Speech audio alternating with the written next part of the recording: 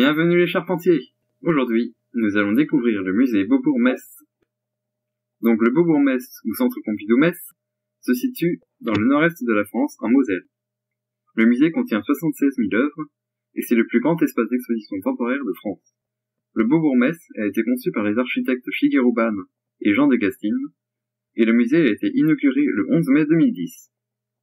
Son immense charpente est en laminé collé, qui est un matériau s'obtenant par collage de plusieurs lamelles en bois. Il est le musée le plus visité hors de Paris après le Louvre-Lens. Ce bâtiment avait été créé pour un aménagement urbain du quartier de l'amphithéâtre, qui se situe à Metz.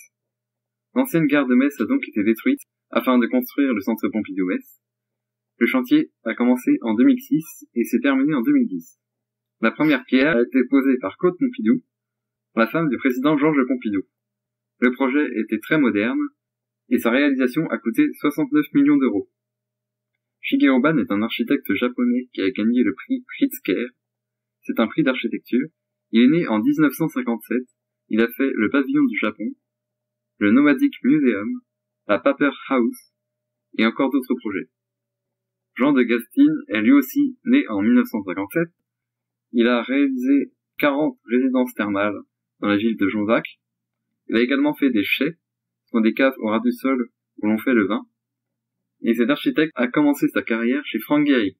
À bientôt pour une future vidéo. Au revoir.